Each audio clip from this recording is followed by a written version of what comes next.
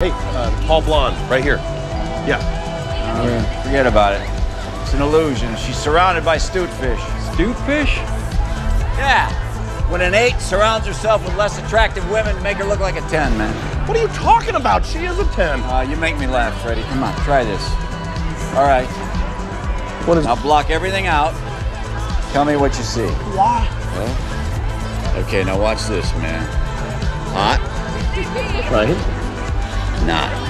Oh my god. Hot? Nah.